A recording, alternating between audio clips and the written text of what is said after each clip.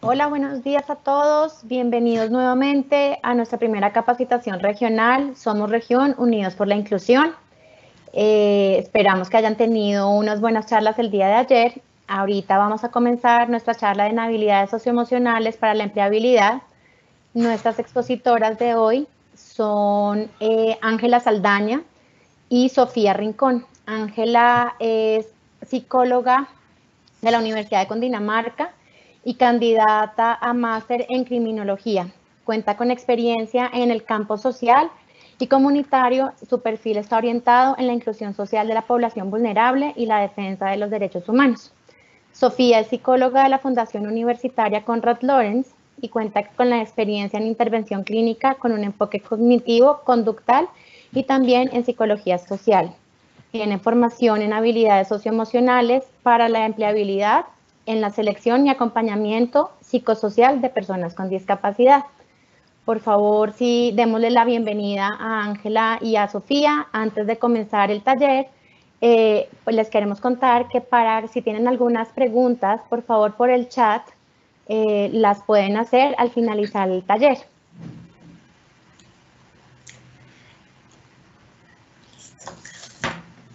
Bueno, Hola a todos, muy buenos días. Gracias por acompañarnos el día de hoy. El taller que vamos a realizar lo vamos a realizar en el marco del modelo de inclusión económica de personas con discapacidad, un proyecto que estamos ejecutando junto con la Saldarriaga Concha, que está financiado por el Banco Interamericano del Desarrollo y el Fondo Japón. Les vamos a pedir unas recomendaciones para este taller. Eh, vamos a grabar la sesión, por favor, tener el micrófono en silencio durante toda la sesión eh, y las intervenciones que vamos a realizar serán únicamente por el chat. Vamos a, tener una agenda, vamos a hablar sobre el objetivo del taller, eh, los temas a tratar son el proyecto de vida, las habilidades socioemocionales, la ruta de empleabilidad eh, y vamos a tener una ronda de preguntas y comentarios por el chat. Bueno, el objetivo es conocer e identificar las habilidades socioemocionales más relevantes para el proceso de empleabilidad. Vamos a tener esta presentación que está dividida en dos, en dos colores. Vamos a tener en color azul las personas con discapacidad, refiriéndonos a las personas, a la discapacidad como un concepto que evoluciona eh, a lo largo del tiempo eh, y la interacción entre personas con alguna deficiencia, pero también teniendo en cuenta las barreras de la sociedad que evitan la participación plena y efectiva eh, en la sociedad en igualdad de condiciones. Y al, otro lado vamos a tener lo que es familiares y asistentes personales, eh, nos referimos a familiar o asistente personal a un apoyo necesario para facilitar la interacción de la persona con discapacidad y su inclusión en la comunidad para evitar su aislamiento. Entonces, muchas gracias por acompañarnos el día de hoy. Vamos a realizar un ejercicio en este momento para iniciar eh, con este taller. Nos vamos a poner cómodos allí donde estamos. Vamos a poner los pies en el suelo, en el piso. Eh, vamos a tratar de que nuestros brazos caigan para sentirnos relajados. Eh, vamos a cerrar nuestros ojos y vamos a realizar un ejercicio de respiración consciente. Vamos a respirar en tres momentos, inhalamos en tres y exhalamos por la boca en tres. Entonces vamos a iniciarlo, por favor, dispónganse. Vamos a empezar, vamos a respirar en uno, dos y tres. ¿Listo? Uno, dos, tres. Exhalamos. Uno, dos, tres. Si viene algún eh, pensamiento, vamos a procurar dejarlo pasar rápidamente, vamos a concentrarnos en nuestra respiración, agradeciendo el día, agradeciendo que nos vamos a dar un espacio para nosotros acá con este taller, agradeciendo que eh, tengo un día más de vida, Respiramos otra vez en tres tiempos. Uno, dos, tres. Exhalamos por la boca. Uno, dos, tres. Bueno, vamos a dar paso a Eh, otro ejercicio, para esto necesitamos que ustedes tengan a la mano eh, una hojita y un esfero, un lápiz, un cuaderno, algo en lo que puedan ir como tomando algunos apuntes que les vamos a realizar unas preguntas durante el transcurso del taller. Recuerden que esto es una ponencia taller, entonces eh, aunque las interacciones van a realizar, van a ser por el chat, vamos a contar con su participación. Gracias, Ángela, por el ejercicio anterior. Espero les haya gustado mucho. Ahora vamos a dar inicio a las temáticas del taller y comenzaremos con el proyecto de vida. Quiero recordarles que el proyecto de vida es una guía que tiene cada persona para eh, cumplir las metas que se ha, establecido, ¿sí? Y se realiza por medio de un paso a paso que posteriormente vamos a ver siempre estamos escuchando proyecto de vida, pero quizá no le damos esa importancia al proyecto ni le dedicamos el tiempo de estructurarlo. Entonces, esos sueños que tenemos quizá comienzan a verse un poco inalcanzables porque no sabemos cómo, cómo llegar a ellos, cómo llegar a esa meta. Es por esto que en este espacio queremos que ustedes evidencien la importancia de estructurar ese proyecto de vida y se den cuenta de que el proyecto de vida de cada persona que estamos conectadas acá es diferente. Todos tenemos metas diferentes y eso es lo importante, que eh, pues conozcamos la importancia y que todos tenemos un proyecto de vida diferente que nos va a ayudar a direccionar nuestro futuro. Listo. Mm, continúa, por favor. Eh, por eso, eh, a continuación les voy a presentar dos preguntas. Eh, recuerden que la dinámica que vamos a manejar es que las personas con discapacidad se van a enfocar en las preguntas o actividades que se encuentran al lado izquierdo y los familiares y asistentes al lado derecho. Entonces quiero que las personas con discapacidad se pregunten y reflexionen para ustedes mismos por qué es importante el trabajo en su proyecto de vida. Trabajar porque es importante. Y el familiar o asistente personal se va a preguntar por qué es importante que su hijo o familiar trabaje eh, y lo tenga en cuenta dentro de su proyecto de vida. Mientras ustedes reflexionan sobre esto, nos van a proyectar un video eh, y continuamos después con, con estas preguntas.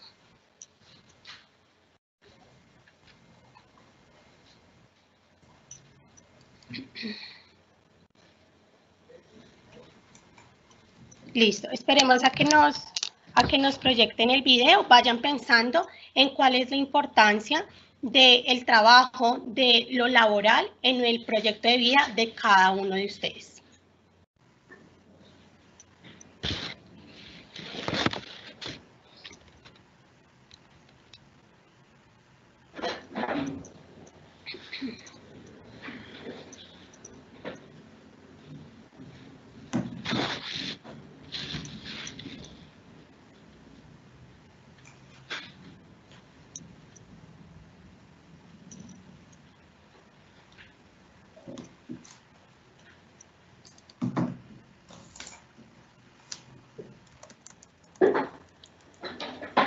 Creo que estamos teniendo problemas con el audio del video porque no, no escuchamos.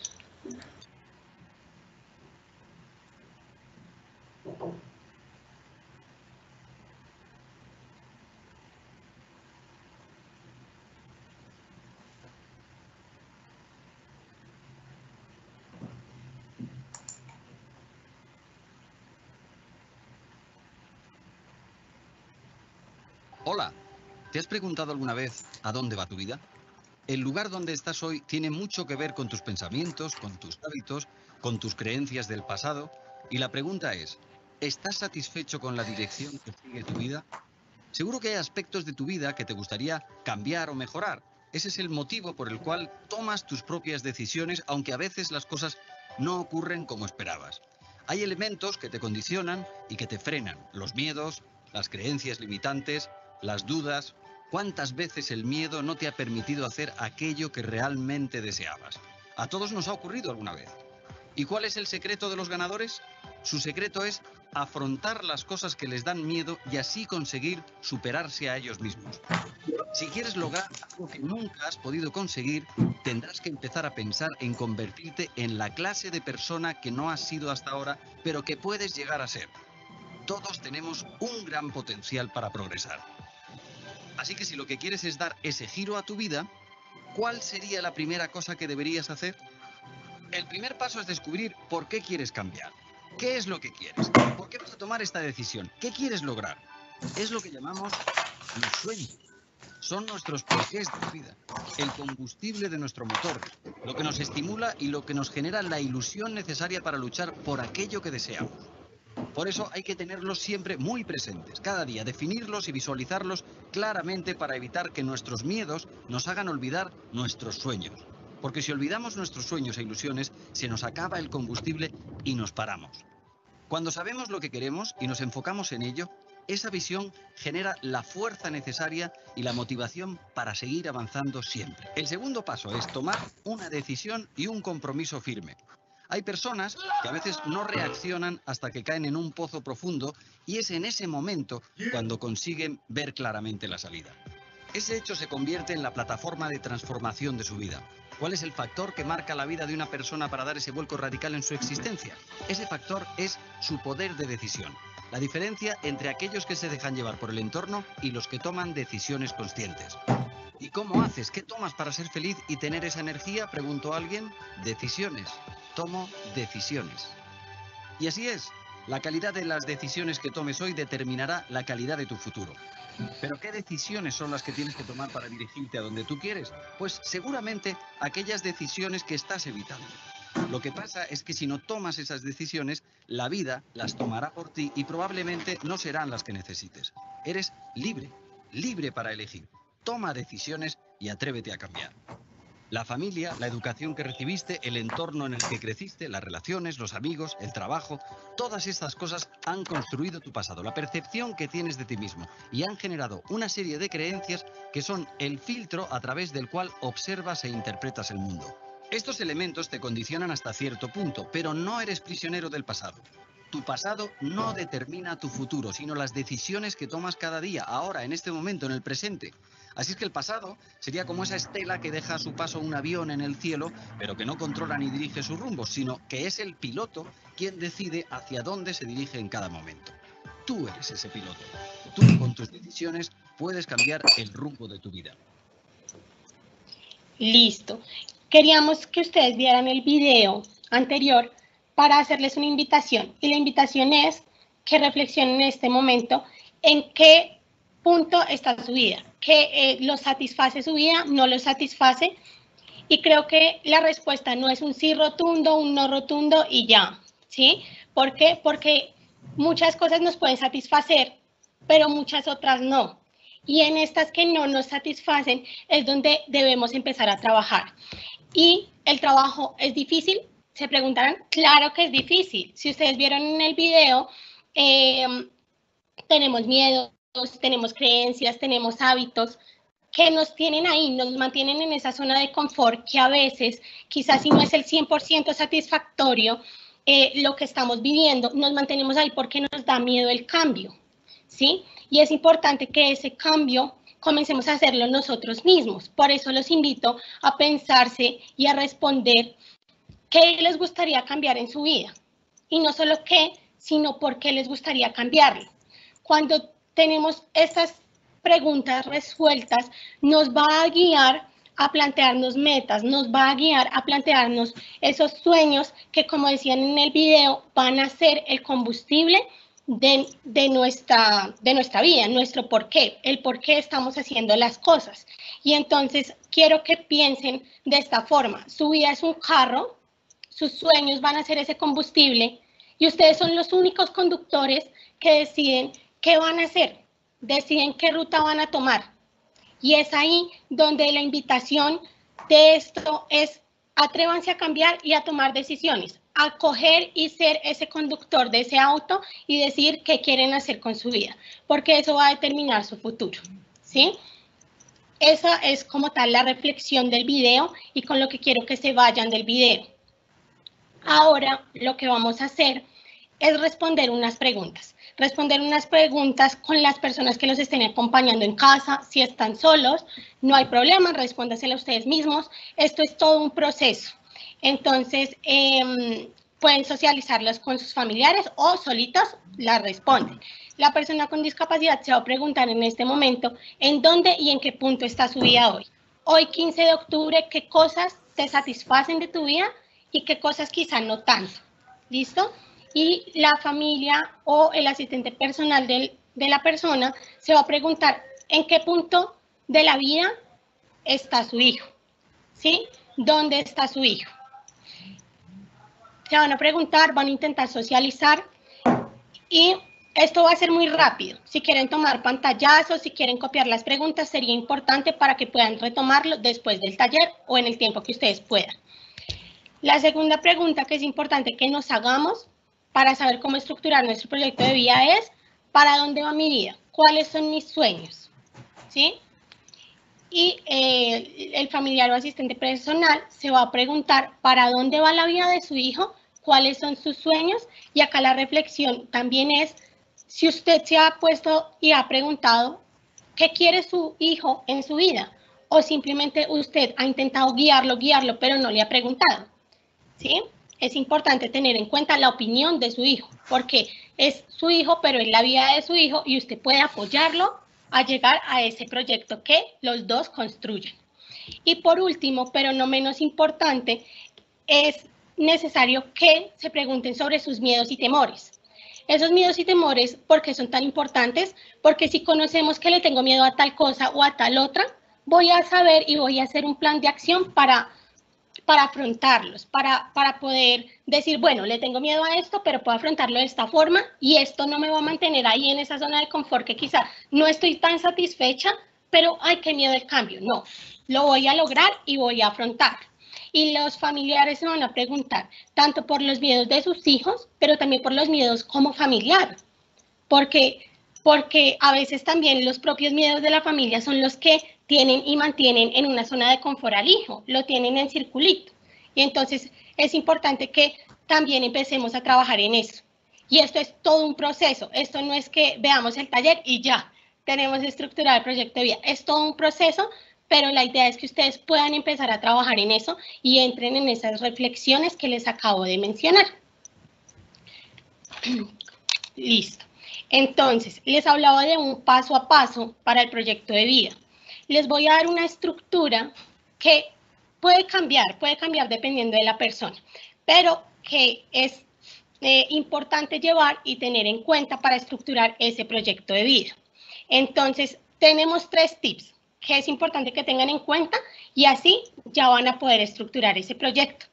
El primer tip es establecer una meta y un objetivo. Y no solo es una meta, ¿sí? Son varias metas de acuerdo a diferentes áreas que posteriormente vamos a ver. Pero ese es nuestro primer tip. Nuestro segundo tip es definir cómo pueden cumplir esa meta. ¿Qué pequeñas acciones puedo hacer para comenzar a cumplir esa meta? Y nuestro tercer tip es determinar el tiempo en el cual lo vamos a, cumplir. Entonces, a corto plazo, mi meta es a corto plazo, a mediano plazo o a largo plazo. Es importante también definir esa parte. Entonces, vamos a ver un ejemplo, em, el ejemplo de Emma, para posteriormente realizar un ejercicio. Presten atención. El área que ella va a trabajar en este ejemplo es a nivel laboral. Y la meta que se establece es que quiere trabajar en un cargo de servicio al cliente, ¿sí? Pone algo específico, porque muchas personas pueden colocar trabajar, pero trabajar en qué? Es importante definir en qué nos gustaría trabajar y qué habilidades tenemos. Entonces, ella tiene habilidades para trabajar en un cargo de servicio al cliente y pone tres opciones. Estas tres opciones son, puede trabajar como recepcionista en una empresa, asesora de servicio al cliente o auxiliar de servicio al cliente. Pero para esto no es solo plantearnos la meta, como les decía, un paso a paso. ¿Qué acciones pequeñas podemos hacer? Las acciones que ya se plantea son las siguientes. Lo primero que ella considera para conseguir un trabajo en servicio al cliente es hacer una hoja de vida, identificando sus habilidades y competencias técnicas. el tema de habilidades lo vamos a ver más adelante, no se preocupen. Lo segundo que ella se plantea es buscar ofertas relacionadas con su perfil laboral. ¿Por qué relacionadas con su perfil laboral? Porque Emma no, no se puede colocar a, a buscar trabajo, quizá para ser abogado, enfermera, porque no cuenta con esas habilidades. Y en caso de que las busque, es poco probable que vaya a quedar seleccionada y pueda trabajar en eso. ¿sí? Entonces debe estar relacionado con su perfil. Lo siguiente que ella se propone es postularse en esas ofertas laborales que cumplen en el que cumple el perfil. Su siguiente acción será prepararse para las entrevistas y pruebas. Y esto es muy importante. ¿Por qué? Porque si a mí me llaman a una entrevista y quizás yo no he preparado nada, pues los nervios me pueden comer y responder de una forma que no queremos. Si yo me preparo, voy a me preparé previamente, voy a, voy a poder responder de una mejor manera y desenvolverme mejor en esa entrevista. Puede que no te hagan las mismas preguntas, sí, puede ser, pero sabes cómo podrías responder frente a diferentes cosas y eso va a hacer que tengas un mejor proceso. Luego, em, Emma se, propone preparar, eh, prepararse para el proceso de, de en la que la convocaron. ¿sí? Entonces, ¿cómo así prepararse? Presentarse, perdón. Presentarse tiene que tener en cuenta eh, la puntualidad, cómo se va a ir vestida, todo eso, para después presentarse. Y en esta parte pueden haber dos posibilidades. Uno, o lo contratan o la otra, no la contratan. En caso de que no, no es desanimarnos y decir, no, yo ya hice todo el paso a paso y no se cumplió. No, este proceso de empleabilidad es, es difícil, es de trabajo, es de ser constantes. Si no conseguí el primer trabajo, pues bueno, otra vez retomo los pasos y comienzo otra vez a buscar ofertas laborales hasta que por fin pueda cumplir esa meta que me establecí.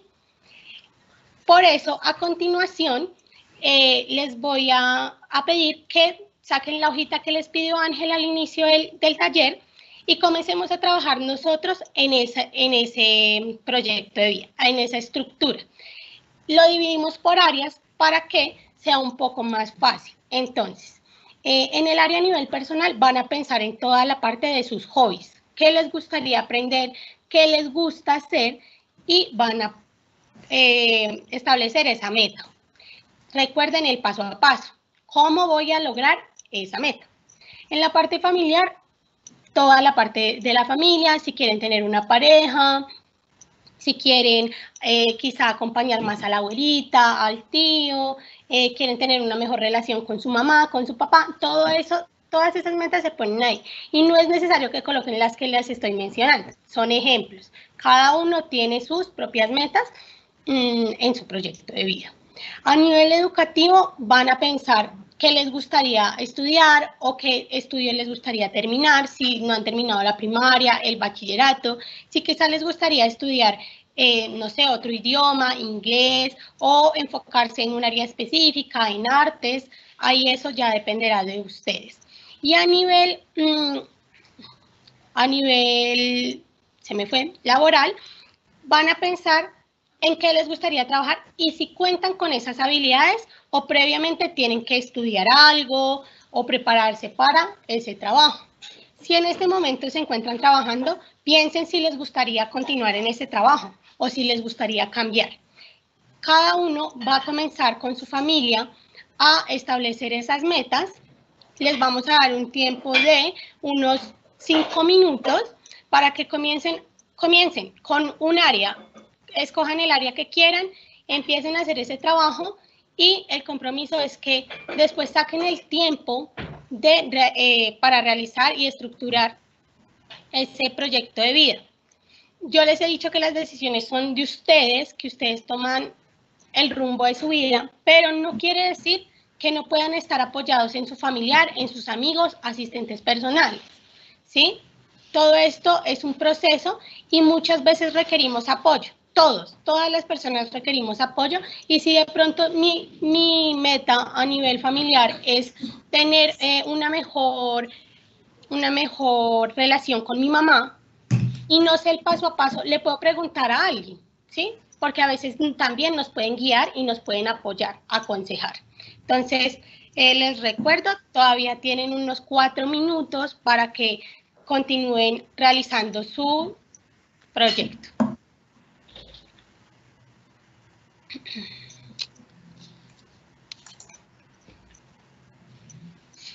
Si tienen preguntas, recuerden que en el chat vamos a responder al final del taller.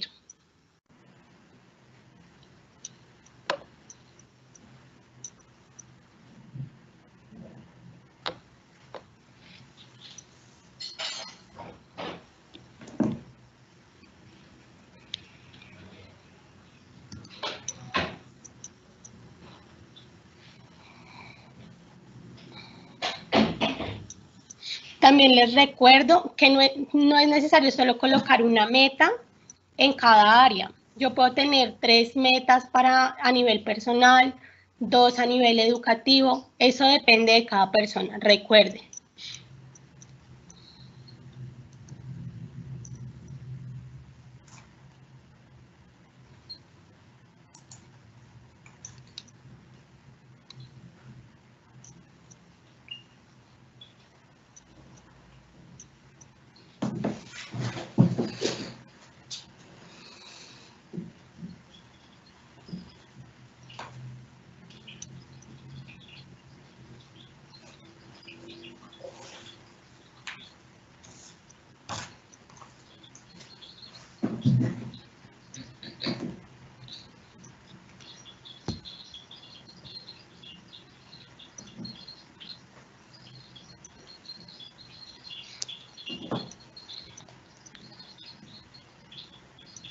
Nos quedan dos minutos, vayan pensando en esas metas. Recuerden que no es necesario que lo terminen ahorita.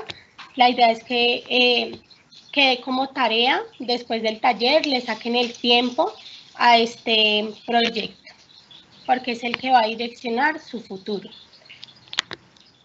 Todo tiene un tiempo y toma tiempo.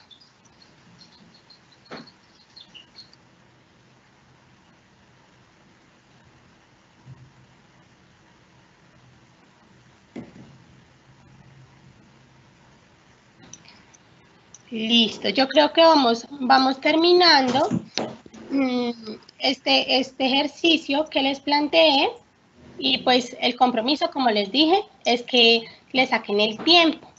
Ahora vamos a continuar con otro ejercicio.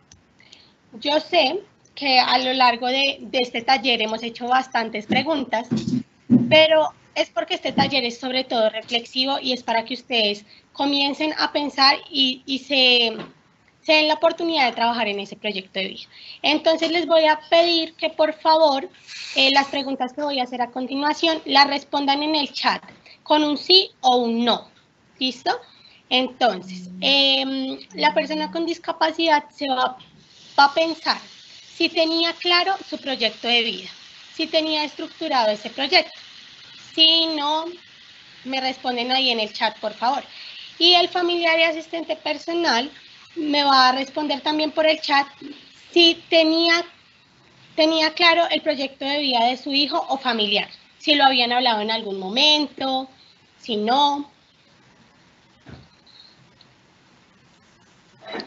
Veo que varias personas dicen sí, otras dicen no, de pronto no lo tenía, no lo tenía estructurado y está bien. Para eso es este taller, para que tomemos la decisión de crear ese proyecto de vida. La idea es que no se quede solo en el taller, sino que en serio tomen el tiempo para hacerlo. La siguiente pregunta que me van a responder va a ser si consideran que su familia puede apoyarlos a lograr ese proyecto de vida. Y me va a responder si considera que puede apoyar a su hijo o familiar a lograr ese proyecto de vida que se, que se establece. Respondan porfa en el chat, sí, no, qué opinan.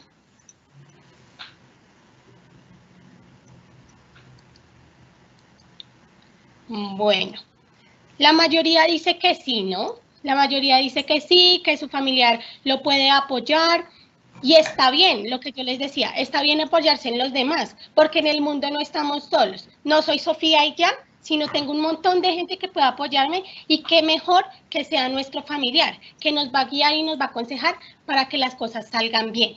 Entonces ese apoyo siempre es necesario buscarlo y muchos lo requerimos y pues estoy segura que su familiar lo va a apoyar y lo va a guiar de la mejor manera. La última pregunta que nos vamos a responder es si está dispuesto a trabajar en ese proyecto de vida. ¿Usted está dispuesto a ser ese conductor de su vida? Respóndame sí o no. Y el familiar y asistente personal, respóndeme por favor si está dispuesto a trabajar en el proyecto de vida de su hijo, el que estructure con su hijo. ¿Listo? Respóndanme por favor. Y recuerden que esta es una construcción. Esta es una construcción con su hijo del proyecto, identificando esas habilidades, esas cosas que hacen a su hijo único. Y así pueden estructurar un gran proyecto de vida. Hasta aquí vamos a dejar esta parte, vamos a continuar con Ángela. Gracias. Muchas gracias, Sofía, por esa reflexión tan importante que nos haces del proyecto de vida. Definitivamente algunas veces decimos, sí, yo quiero una casa, pero nunca nos preguntamos eh, cómo voy a lograr esa casa, qué tengo que hacer, tengo que acercarme a, un banco, tengo que hacer un ahorro programado. Nunca nos preguntamos cómo es ese paso a paso. Entonces, muchísimas gracias por tu reflexión. Bueno, eh, otro de los temas acá importantes que vamos a, trabajar eh, en el taller es, son las habilidades socioemocionales. Hemos escuchado sobre las habilidades eh, técnicas, pero las habilidades socioemocionales se desglosa un poco más. Las habilidades como tal son las capacidades o talentos que tiene cada persona para hacer las tareas de la vida diaria, trabajo o alguna ocupación pero que las hace con mucha facilidad y bien hecha. O sea, es, una, es, es, algo que de pronto las personas resaltan en nosotros y nos dicen, no, Juanita es muy, muy buena eh, arreglando mesas, eh, Francisco hace muy, dicta muy bien las clases. Son esas habilidades técnicas que nos resaltan eh, a nosotros, que nosotras nos conocemos o que las personas también nos pueden reconocer. Y las habilidades socioemocionales eh, tienen que ver más con la capacidad de interactuar con las demás personas. Esa, facilidad que, yo tengo de, generar relaciones, de tener relaciones sanas, de cuidarlas, de que se me den las cosas eh, de una mejor manera. Pero les voy a mostrar cuáles son esas habilidades. Resulta que hay muchas habilidades socioemocionales, demasiadas. O sea, podemos hacer una lista de 100 habilidades socioemocionales pero nosotros escogimos acá 12 habilidades para trabajar. Estas 12 habilidades son las más necesitadas y más solicitadas en el mundo laboral. Entonces, eh, voy a dar una definición eh, y algunos ejemplos de ello. Pero la idea es que eh, allá en su casa ustedes estén pensando en esa habilidad que yo estoy mencionando y preguntándose, ¿será que yo tengo buena comunicación? O no, definitivamente yo no tengo comunicación, soy muy mal hablando. Eh, y vayan identificando cuál tienen desarrollada, fortalecida y cuál definitivamente no tienen. Entonces voy a empezar con la ética, que la ética de por sí no es una habilidad socioemocional, pero consideramos que es la base para fortalecer todas esas habilidades socioemocionales.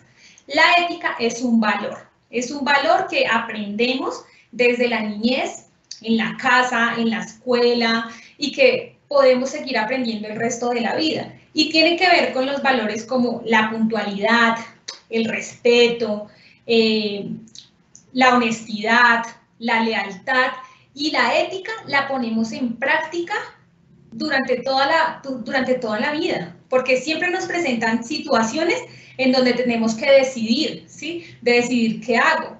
Sí, si yo alguna vez veo a un compañero que está cogiendo algo que no le pertenece, yo puedo preguntarme, decir, eso está mal, ¿sí? Entonces ahí tú estarías evaluando la ética. Soy una persona ética, como mi mamá me enseñó que eso no se hace, ¿sí? Y tú lo interiorizas y lo pones en práctica. Entonces después le dices a tu compañero, oye, lo que hiciste estuvo mal, ¿sí? Entonces ahí la ética se ve atravesada por todas las habilidades socioemocionales.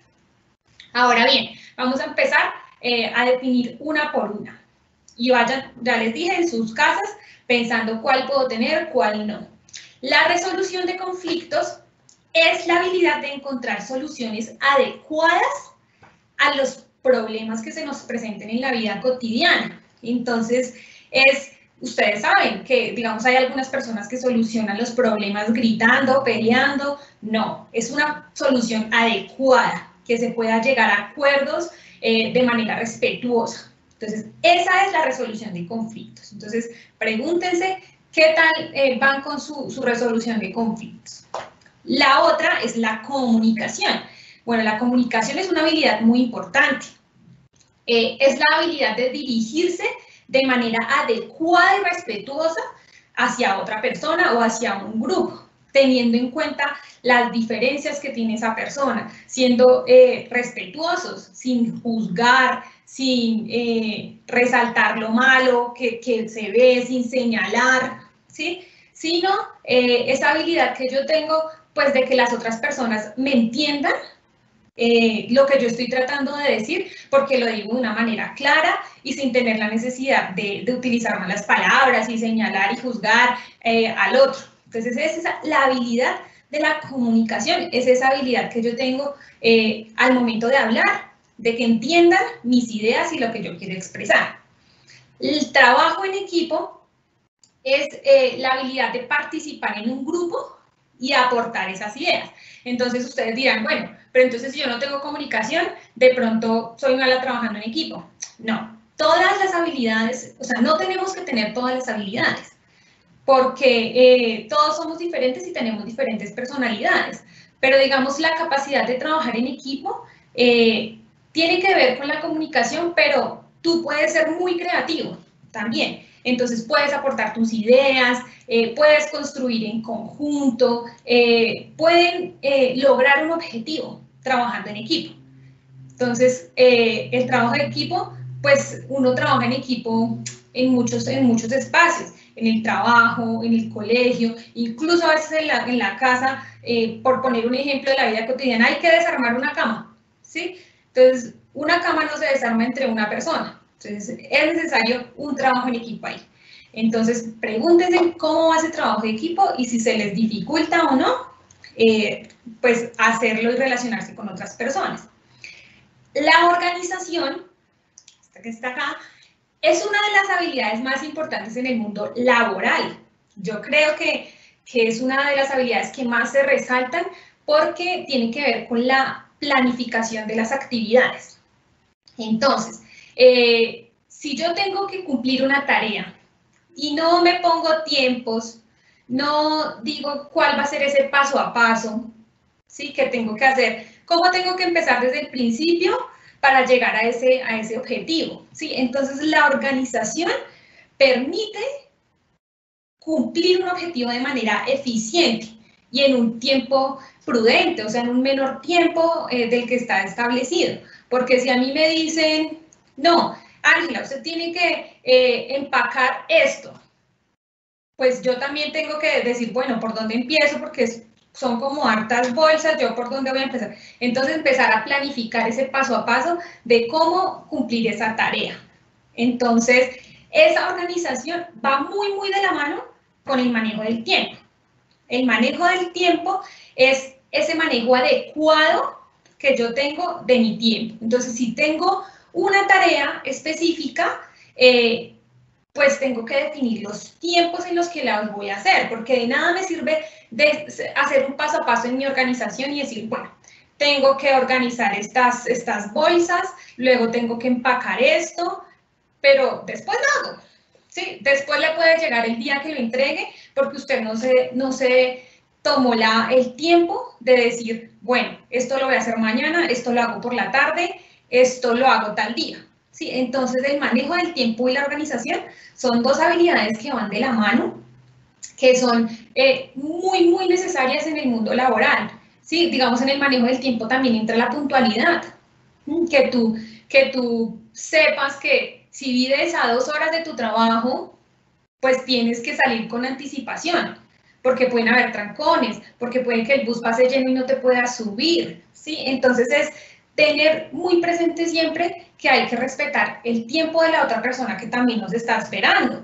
Por ejemplo, en una cita, eh, tenemos una cita eh, a, a, las 9 de la mañana y yo llego a las 9 y 40 y digo, ay, qué pena, es que no me acordé que tenía esta reunión. No, eso estaría mal porque hay otra persona que planificó su día y que sí fue organizada para realizar esa tarea y tú le estás quitando tiempo también a esa persona. Entonces, es importante ese manejo del tiempo en muchísimos aspectos. Ya vamos a ver que las habilidades socioemocionales se pueden reforzar en la vida cotidiana, pero en el mundo laboral hay que tener todas estas habilidades muy presentes, las tengamos o no, pero es una cuestión como de ética, de estar pensando en el otro, en que si me están pagando, pues tengo que hacer mi trabajo también bien. Bueno, vamos con el liderazgo. El liderazgo es una habilidad bien particular porque no todas las personas somos líderes. No todas las personas tenemos como esa capacidad de organizar equipos, de distribuir tareas para cumplir un objetivo. No todos. Pero las personas que son líderes suelen tener muy buena comunicación, suelen trabajar eh, muy bien en equipo. Pero también tenemos que tener en cuenta que hay diferentes tipos de líderes. Eh, hay líderes que son muy autoritarios. Seguramente ustedes eh, puedan recordar a alguna persona que digan, hmm, ese señor se la pasa es mandando, ¿sí? o esa señora se la pasa es mandando. Eso sería un líder autoritario. ¿Sí? Una persona que te diga, usted tiene que hacer esta tarea, me avisa cuando la termine, ¿sí? Pero hay un tipo de líder que es el líder democrático, que es el que te dice, bueno, nos sentamos acá eh, a trabajar en equipo, en grupo, esta es la tarea y tenemos que cumplir con este objetivo. Y les pregunta a todos, ¿cómo lo hacemos? ¿Ustedes cómo creen que es la mejor manera de organizarnos para esta tarea? Y tiene en cuenta las opiniones de los demás. ¿sí? Entonces, eso es un muy buen líder, que pueda lograr los objetivos teniendo en cuenta el trabajo que, que realizan eh, todas las personas que están participando y que además reconoce el trabajo que ellos hacen, porque hay líderes que dicen como, ah, em, sí, esto lo hice yo, ¿sí? Este es el resultado de mi trabajo, cuando hay todo un trabajo en equipo atrás que pues se esforzó para cumplir ese objetivo. Entonces, bueno, hay diferentes tipos de liderazgo y no todos tenemos esas habilidades de ser líder. La creatividad es una eh, que a veces se nos dificulta identificar a muchos y es esa capacidad de crear algo nuevo. ¿sí? Las personas creativas generalmente tienen algo y se les ocurre adicionarle algo más y entonces piensan de una manera diferente y, y crean.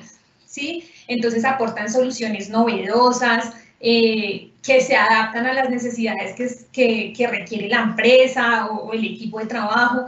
Entonces la creatividad a veces es difícil de identificar, pero las personas creativas hacen que eh, los equipos de trabajo fluyan muy bien. Entonces, bueno, también podemos meter ahí en la creatividad todo el tema de las artes, porque las personas que pintan, que dibujan, eh, que hacen alguna actividad lúdica, son muy, muy creativas, suelen ser muy creativas y eso ayuda mucho. La sociabilidad es esa capacidad que yo tengo de interactuar con el otro. Entonces, puede que yo trabaje muy bien en equipo, que tenga muy buena comunicación, pero que a mí se me dificulte la sociabilidad.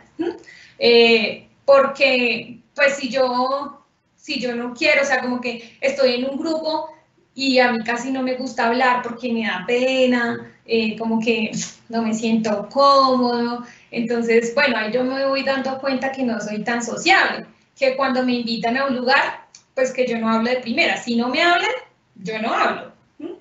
Entonces, bueno, podríamos ir pensando por allá, oiga, yo soy sociable o no soy sociable.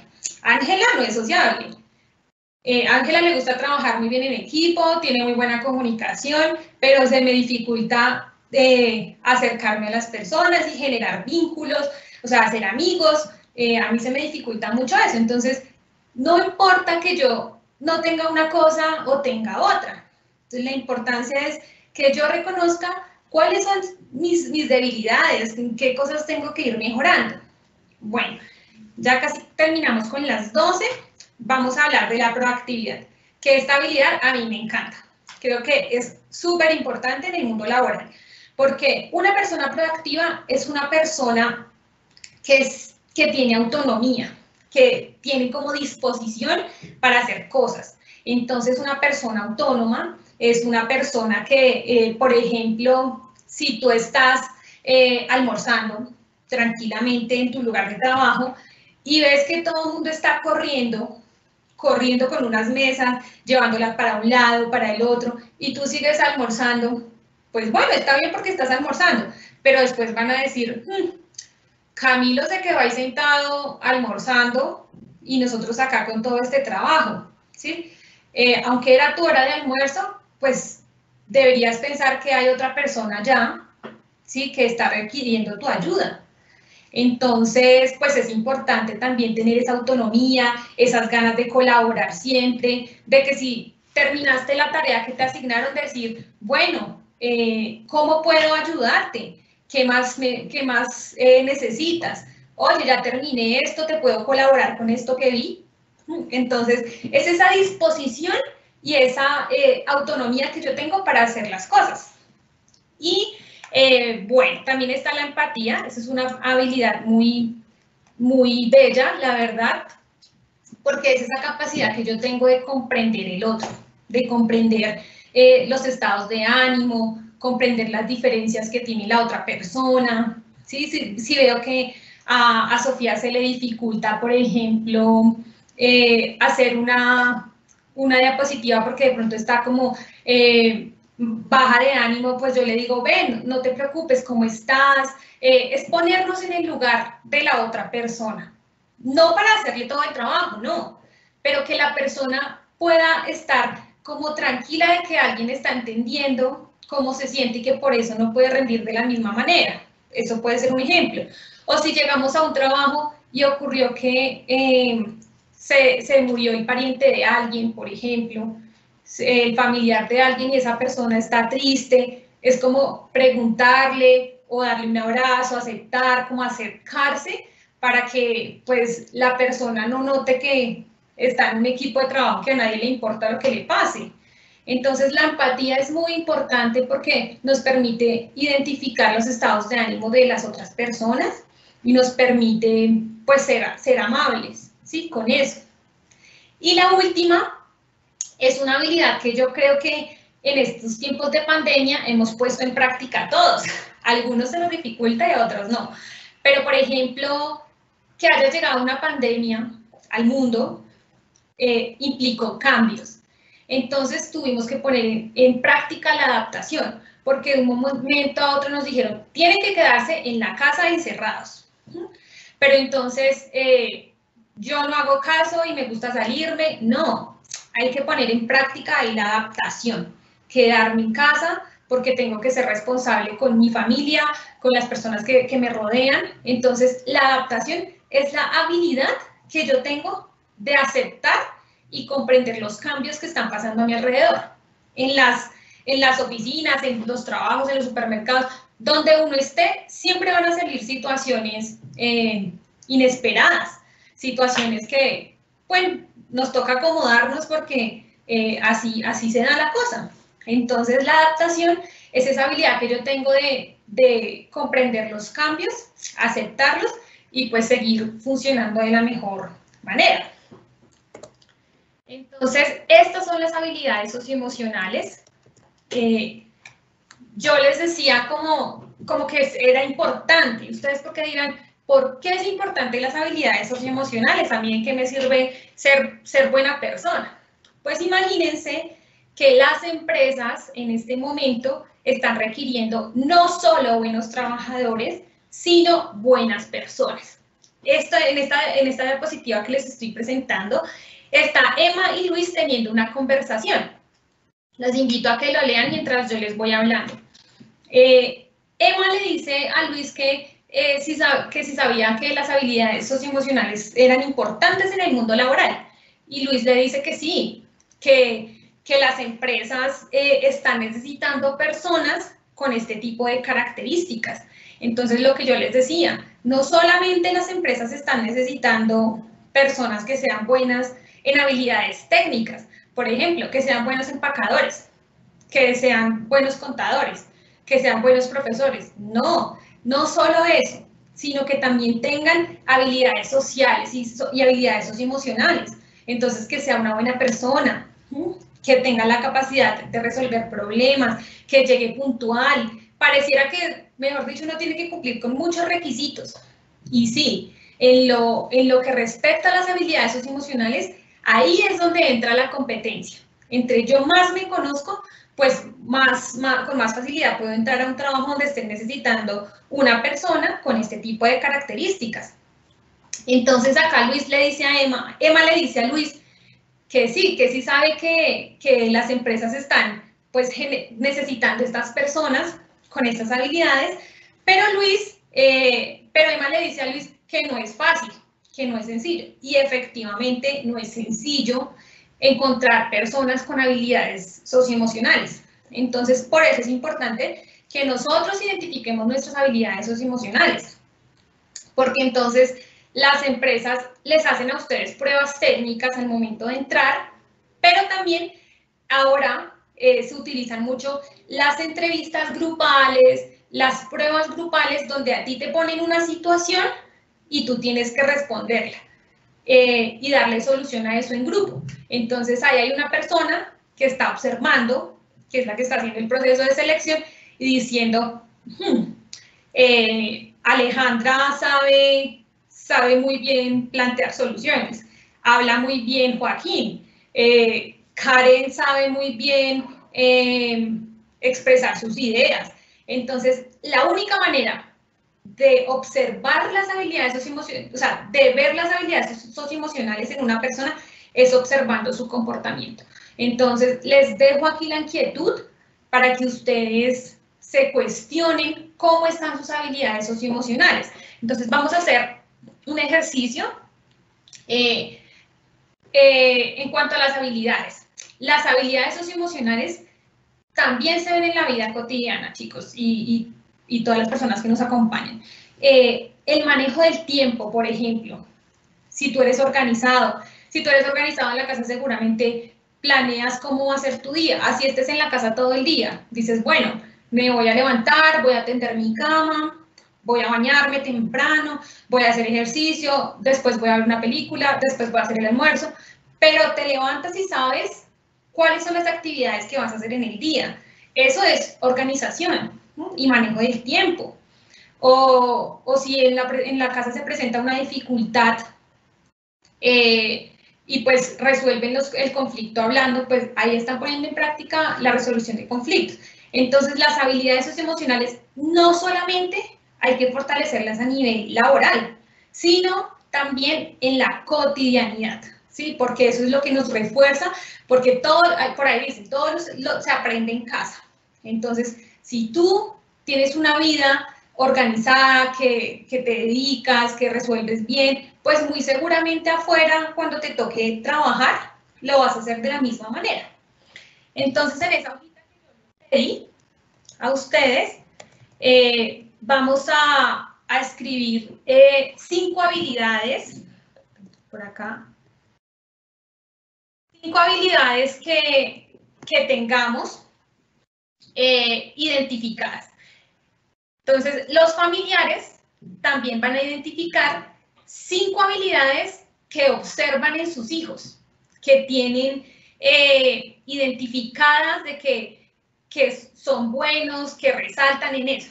Y las otras personas que nos acompañan van a identificar también sus cinco mejores fortalezas y habilidades. Entonces vamos a dar unos dos minuticos para eso.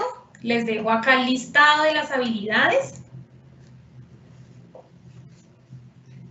Cinco en las que resalten. Recuerden que no es necesario tenerlas todas, que, que todas las personas somos diferentes, tenemos rasgos de personalidad diferentes. Entonces, al igual que nuestro proyecto de vida, nuestras habilidades resultan siendo pues muy, muy de nosotros.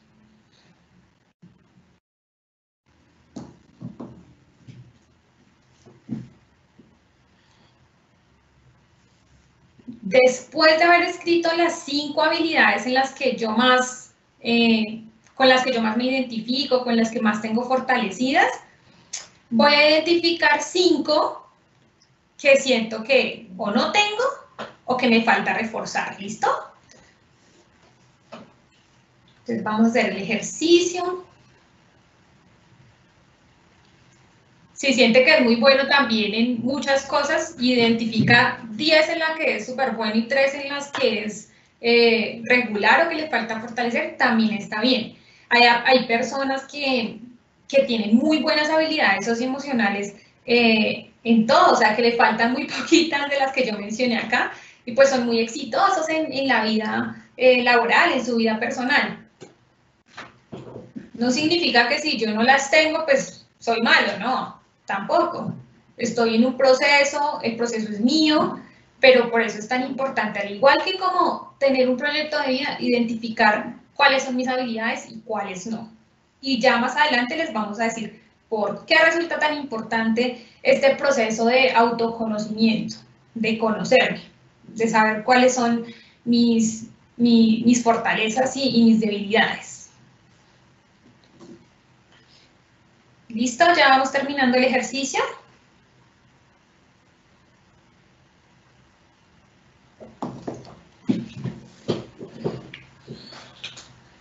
Bueno, vamos a tenerlo ahí. Más adelante seguramente retomaremos este ejercicio para otra cosita que les vamos a contar.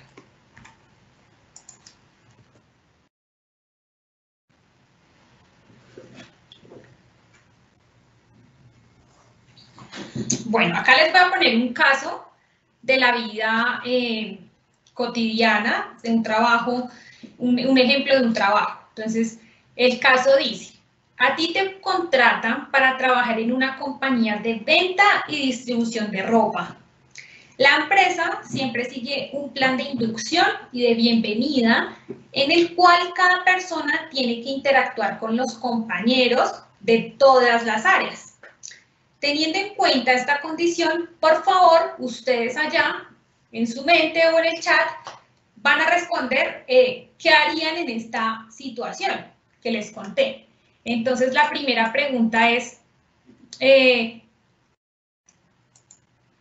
si tu jefe inmediato te solicita presentarte frente a todo el equipo de trabajo, o sea, frente a toda la empresa, para que te conozcan, ¿ustedes se presentarían? ¿O cómo se sentirían en esa situación? A ver, eh, de pronto se ponen rojos, así colorados, cuando pasan a hablar, o sin ningún problema van y se presentan. Entonces, para que lo escribamos en el chat o lo vayamos pensando, está bien, de las dos formas. Entonces, con la misma situación, la siguiente pregunta. Si el área en el que vas a trabajar te solicita integrarte a una actividad lúdica que salieron a hacer ahí al frente de la empresa o en el patio, ¿ustedes participarían? Dirían, bueno, vamos, vamos de una, hacemos el ejercicio y con toda la actitud hacerlo. O por el contrario dirían, no, yo como que, como que no quiero, mejor me quedo acá, ¿sí? Entonces, pensemos, eso sería, eh, estaría enfocado a la sociabilidad. Imagínate que te encuentras eh, en tu puesto de trabajo y escuchas que tus compañeros de trabajo hablan de un tema que tú conoces. Eh, ¿Tú participarías en esa conversación o simplemente te quedas callado y sigues haciendo lo tuyo? O dirías, ah, sí, mira que yo conozco, a mí me pasó tal cosa, sí, yo investigué respecto a eso tal cosa. ¿Ustedes cómo, cómo actuarían en, esas situaciones. Bueno, esto es un caso. Podríamos hacer este ejercicio con todas las habilidades que yo les mostré, eh, porque pues eh, las habilidades están y las ponemos en práctica en todo momento. Pero entonces la invitación acá, chicos, es que identifiquen y aprendan a identificar en la vida cotidiana o en sus trabajos las personas que estén trabajando eh, qué tan fortalecidas tienen esas habilidades socioemocionales. ¿Listo? Entonces, esa es la inquietud. Eh, muchísimas gracias. Sigue Sofía explicando el tema de la ruta de empleabilidad. Bueno, gracias Ángela. Continuamos con la ruta de empleabilidad. Eh, este es un abrebocas porque el tiempo, el tiempo es corto. Entonces, si quieres continuar con la siguiente diapositiva. La ruta de empleabilidad les voy a decir el paso a paso para que eh, conseguir ese empleo que tanto soñamos. Em, lo primero que debemos hacer, lo dividimos en siete pasos. Lo primero que debemos hacer es identificar nuestro perfil laboral y hacer la hoja de vida. Ese identificar nuestro perfil laboral tiene que ver con las habilidades socioemocionales que mencionaba Ángela, a las habilidades socioemocionales y habilidades técnicas. ¿sí? Debemos contar dentro de ese perfil Mm, ¿qué habilidades técnicas tenemos? ¿Qué estudié? No sé, em, ¿en qué soy bueno? Y e identificar las habilidades socioemocionales que tenemos. Por eso es importante el conocernos. En caso de que ya tengan una hoja de vida, lo importante es irla actualizando, porque si tienes otro, otro estudio, si ya fortaleciste otra habilidad, es importante que la coloques en esa hoja de vida. Lo segundo que, que se haría sería buscar ofertas laborales que coincidan con ese perfil. Esas ofertas las pueden buscar en varios lugares. Entonces hay agencias de empleo, en portales de empleo, periódicos, redes sociales em, especializadas, ¿no? Porque muchas veces se puede encontrar una convocatoria en Facebook, pero toca determinar si es, si es real, porque a veces no son reales, toca hacer la verificación, mirar bien. Por eso es mejor en las especializadas.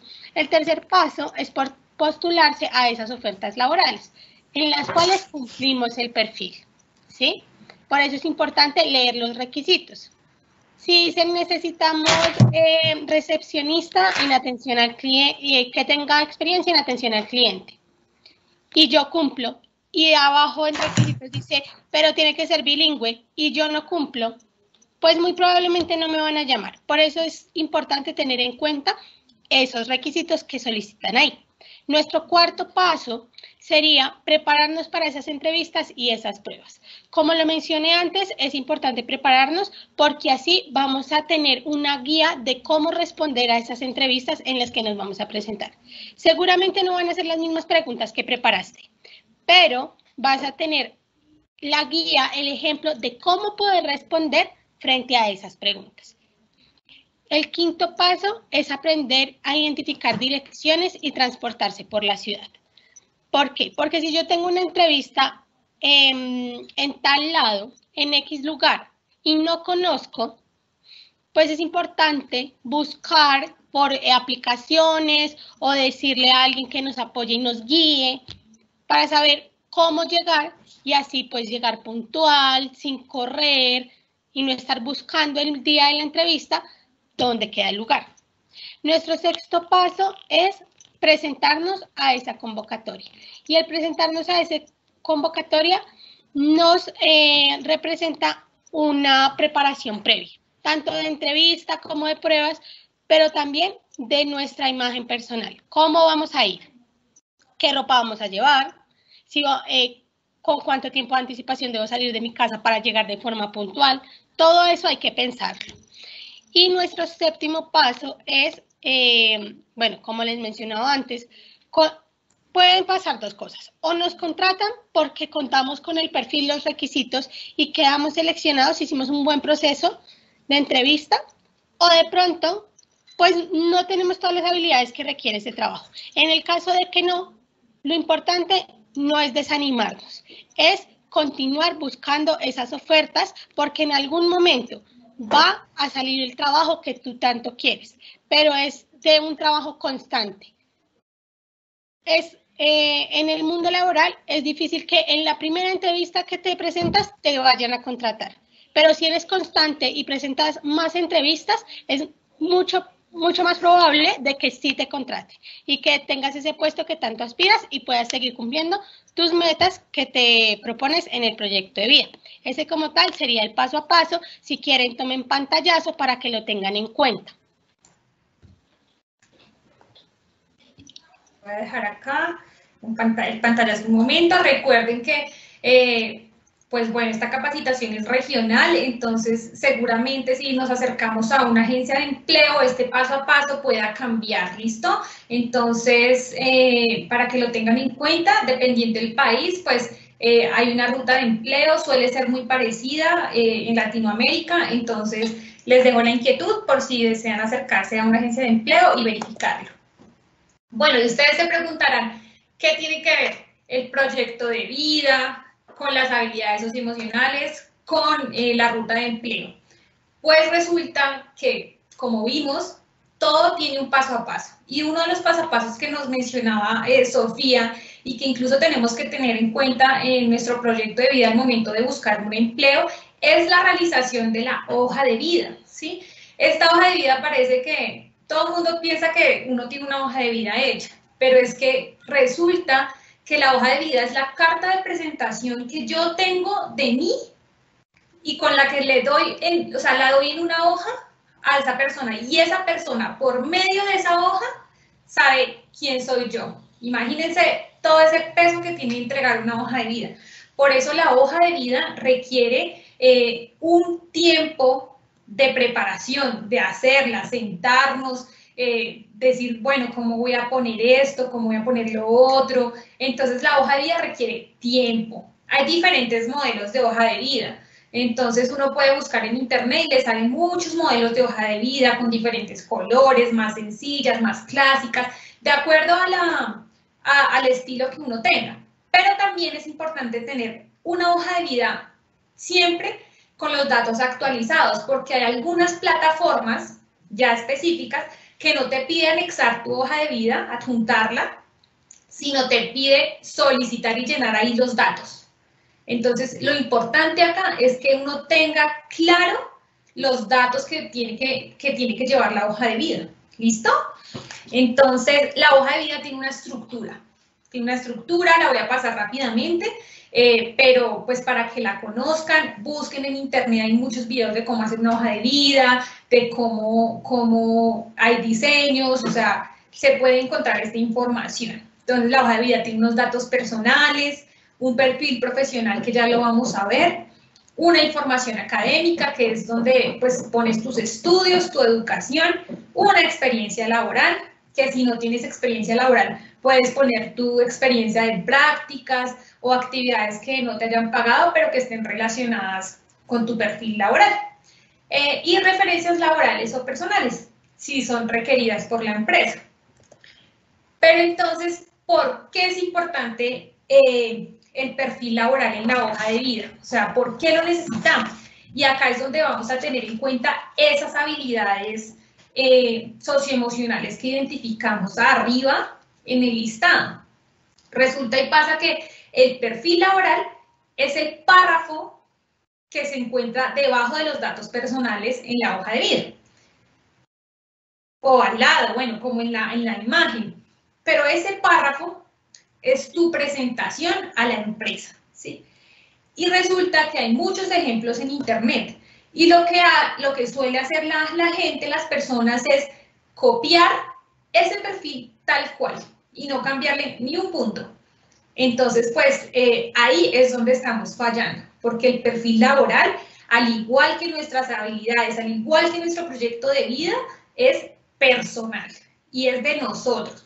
Entonces, ahí eh, el, perfil laboral tiene que tener las características personales, que es decir, las habilidades socioemocionales. Entonces, Ángela, eh, mi nombre es Ángela, soy una persona carisma, líder, eh, con muy buen manejo del tiempo, con trabajo, eh, trabajo muy bien en equipo, eh, con habilidades de comunicación.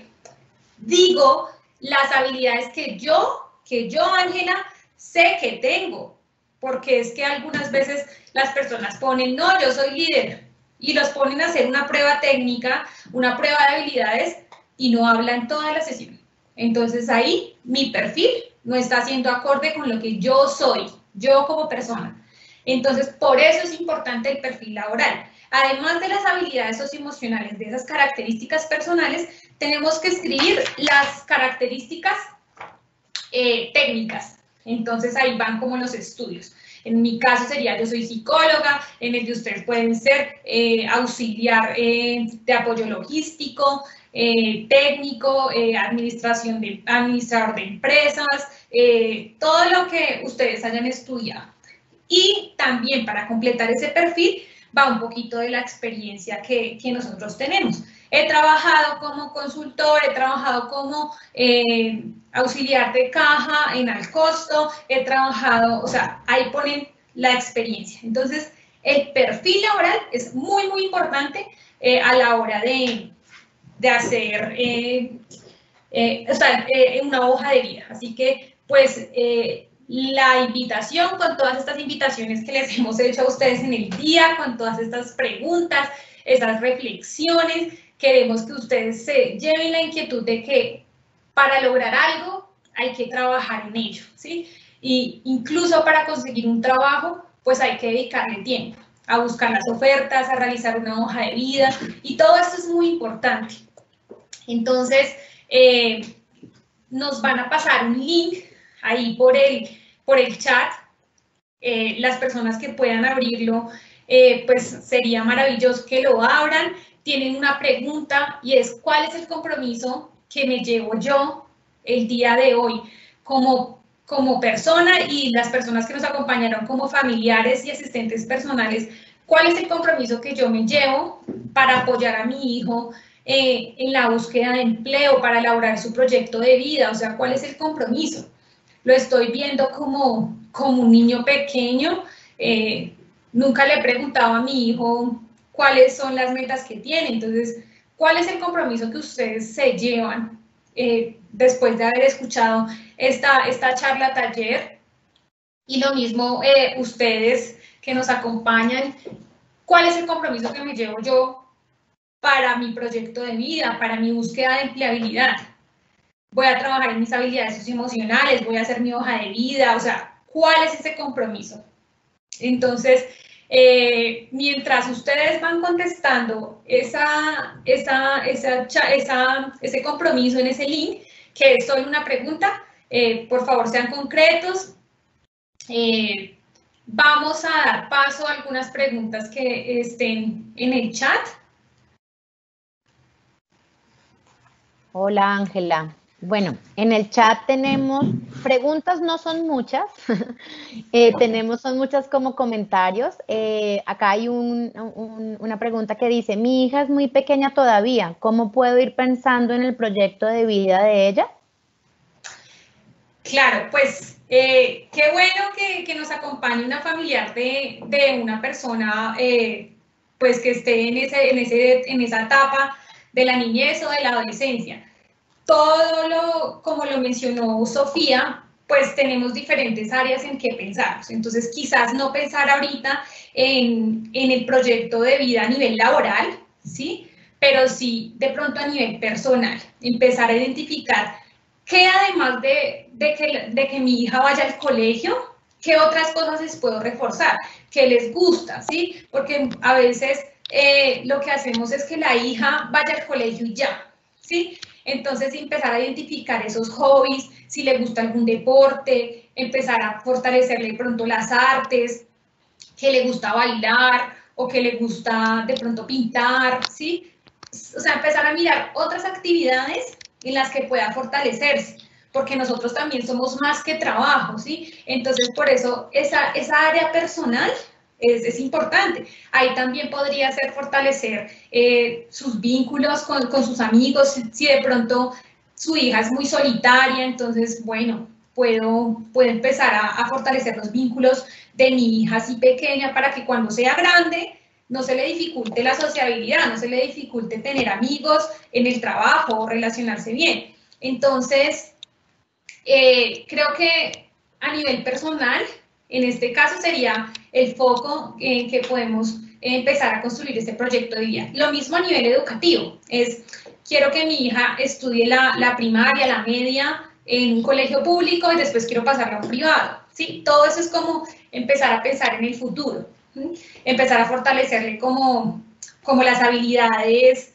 que tenga, como si, si, la, si la chica es muy buena en matemáticas, bueno, colaborarle en matemáticas, o sea, reforzarla porque pues no mirar ahorita la parte laboral.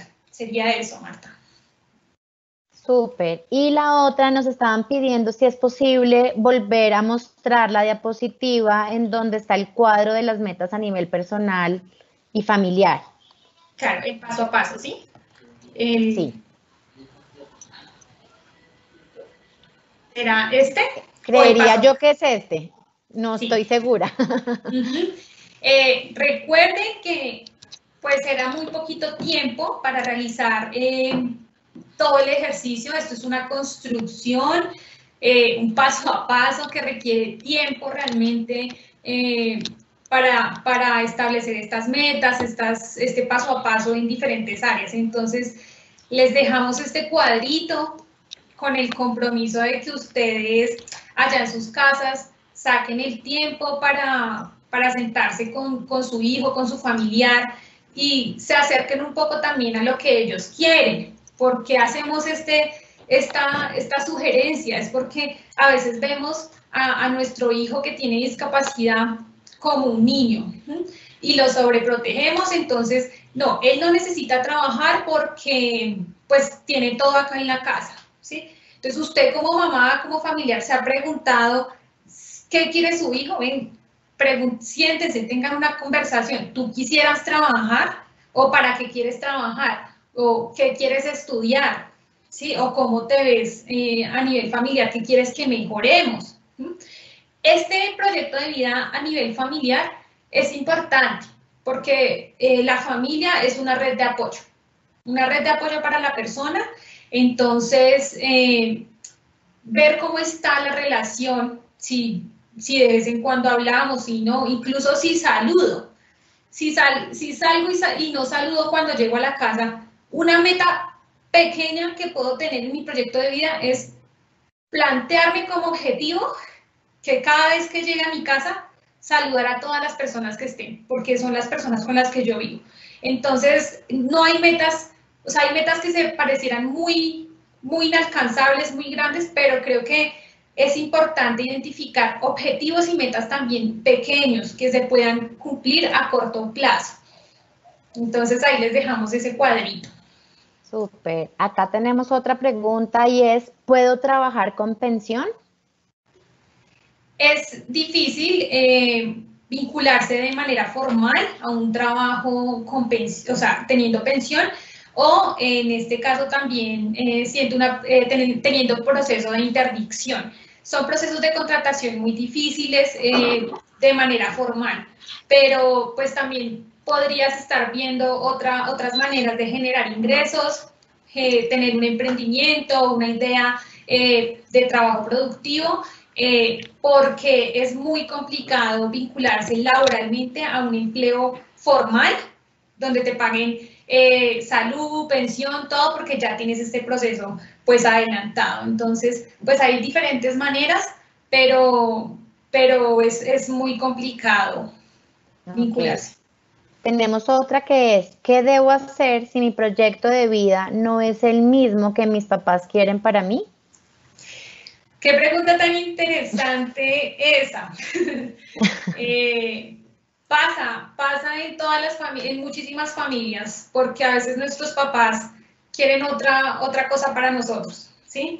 Eh, y, se planean y, proyectan, nos proyectan como personas súper exitosas, haciendo, eh, mejor dicho, cosas muy grandes, o simplemente que no van de acuerdo a nuestra personalidad. Yo creo que ahí es muy importante tener una conversación sincera con, con los familiares en este caso y que las familias reconozcan las habilidades que tiene el hijo, ¿sí? Porque si entonces es bueno para matemáticas y los papás quieren que estudie contaduría o contabilidad, sí o sí, pero entonces él es bueno para matemáticas y para todas las materias, pero le gusta la psicología, o sea, le, le gusta hablar con las personas, imagínense, les gusta conversar, eh, interesarse por, los, por las dificultades que tienen las personas y es muy bueno en eso. Pero entonces hay una serie de imaginarios siempre de, no, eh, un contador puede ser más exitoso que un psicólogo, ¿sí? Entonces yo creo que ahí en esos casos es muy importante la conversación con los papás, con los familiares, con la red de apoyo, porque eh, hay que escuchar, hay que escuchar lo que, lo que desea eh, nuestro hijo, lo que, lo que él quiere hacer con su vida, porque a la final es, su vida, ¿sí? Entonces, ¿qué mejor manera que acompañarlo en ese proceso sin estar reprochándole pues lo que lo otro, ¿sí? Lo que no lo que él no quiere, ¿sí? Entonces pensar también que qué feliz qué felicidad le puede traer o no eh, eso a, a mi hijo. Y es importante pues tener el respaldo de los papás. Listo, tenemos otra que dice cómo superar los miedos ante la posible pérdida, perdón, ante la posible pérdida de la pensión de mi papá si yo me pongo a trabajar. Bueno, esa es una pregunta muy específica. Mm, eh, ahí es difícil eh, y hay que, dentro de ese proyecto de vida que, nos planteamos, eh, pues pensarnos qué es lo que quiero, ¿sí? Quiero tener algo seguro, que es la pensión de, que, que ya tengo, sí, que me genera de alguna manera estabilidad y seguridad, o vincularme y perder mi pensión. Creo que mm, si el objetivo no es trabajar, sino generar como otras habilidades que se generan en el trabajo, como conocer gente, desarrollar otras habilidades. Eh, creo que también puedes evaluar qué prioridad le quieres dar a, cada cosa, porque si quieres perder una pensión, pues corres el riesgo de no tener tanta estabilidad que eso a la final genera, ¿sí? Entonces, lo que puedes pensar es otras actividades que complementen tu, tu vida diaria, ¿sí? No solamente a nivel laboral, sino que te dediques a, a, algo en lo que seas bueno, un hobby que tengas, una actividad que tengas pendiente de desarrollar, si lo que tienes es tiempo, ¿sí? Porque no todo tampoco es trabajo. Entonces creo que eh, debes revisar qué, qué, prioridades le quieres dar a tu proyecto de, de, de vida. Listo. Y pues nada, pues yo creo que se nos está agotando el tiempo. Sofía y Ángela, mil gracias por este taller, muy enriquecedor. yo también me llevo cosas muy interesantes que aprendí y, esperamos que para todos los padres y, y acudientes y los mismos baris y amigos del alma haya sido un espacio muy enriquecedor. Eh, queremos eh, recordarles, por favor, consulten nuestro mini website que es www.capacitacionregional.org. Ahí van a encontrar la agenda y las charlas que vienen a continuación. Eh, recuerden que deben abandonar esta y para podernos conectar a la siguiente, la que está dirigida a instituciones y padres de familia es las habilidades de una mamá o papá best buddies que arranca a las diez y media, entonces tienen un tiempito de pararse, estirar piernas y conectarse a las diez y media y para nuestros amigos del alma y buddies arranca también a las diez y media la charla de amigos del alma capacitando amigos del alma. Acuérdense que deben ingresar en el, en el nuevo link a estas charlas. Bueno, no, muchas gracias Marta por todo. Muchas gracias a todos por su participación.